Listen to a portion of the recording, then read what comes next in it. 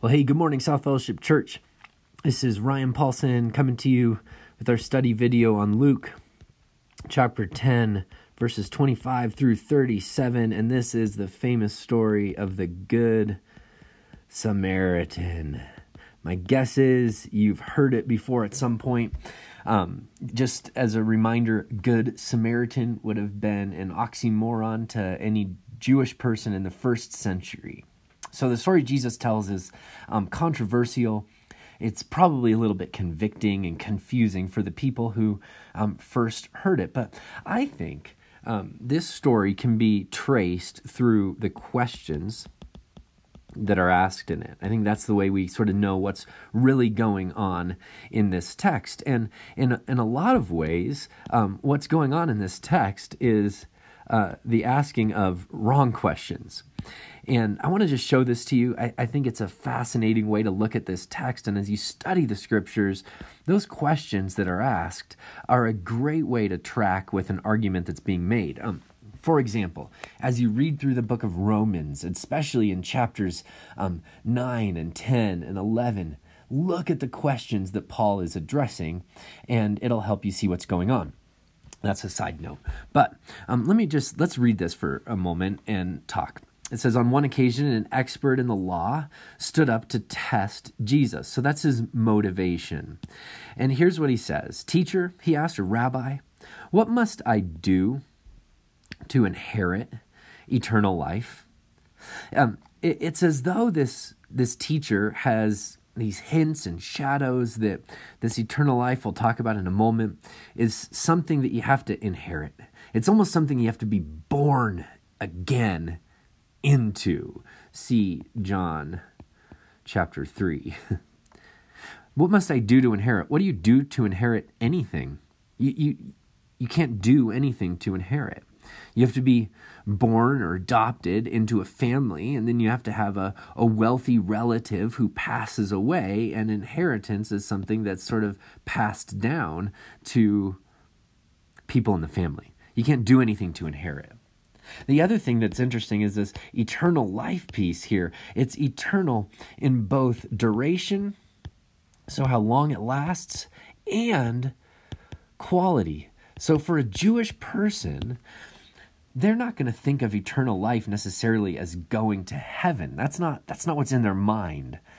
What they're thinking of is it's the kind of life that lasts forever and the kind of life that you want to last forever. That's what they're thinking of. So when Jesus answers this question, he says, Well, yeah, if you do what he talks about, if you do this, you're going to live. He doesn't say you're going to have eternal life. He says you're going to live. Okay?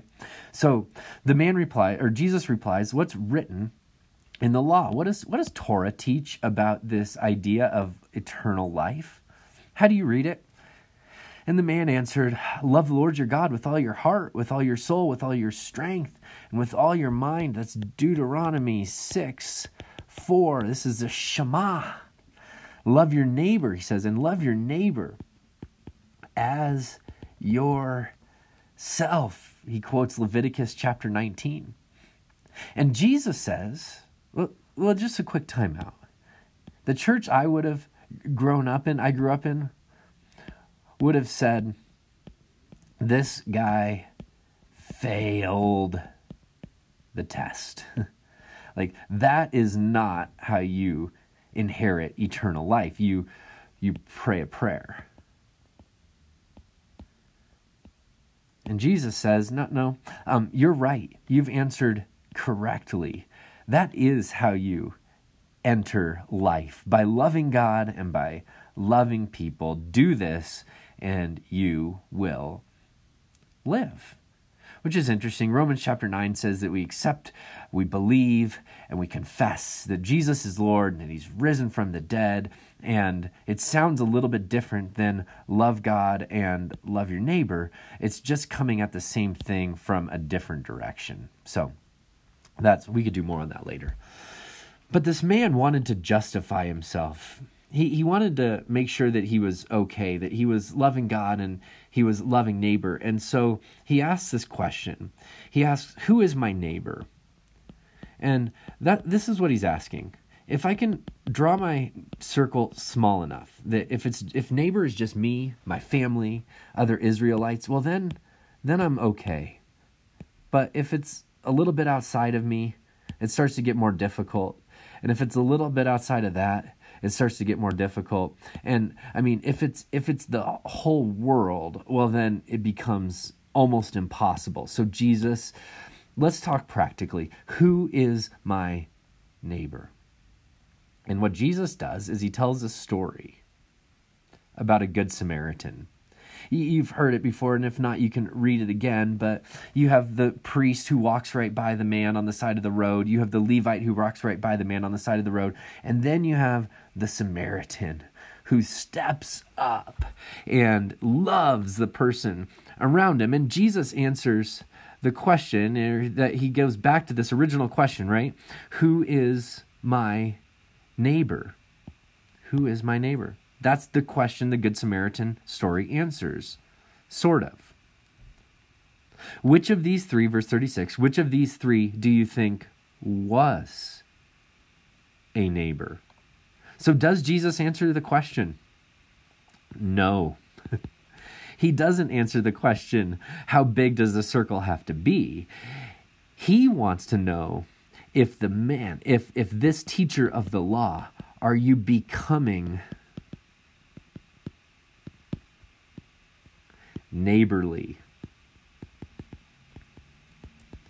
So it's not about defining the neighbor, it's about becoming neighborly. That's what Jesus is after. So, who's my neighbor? That's the wrong question. That's the wrong question. The right question is Am I becoming more neighborly? Am I becoming the kind of person whose heart goes out to people, whoever I see, whether they are literally my neighbor or whether it's somebody that I just happen to meet? Do I have time for them, space for them, energy for them, emotion for them? Am I becoming neighborly? The expert of the law replied, Well, who's, who's the one who was the neighbor? Well, it's the one, he can't even say the name of the Samaritan who had mercy. That's what Jesus is inviting people to. And he says, Go and do likewise. That's the invitation, um, not just to define the neighbor, but to become neighborly. Follow the questions. As you read the scriptures, follow the questions. It will help you understand what the story's all about. I hope that's helpful. God bless you as you study the scriptures.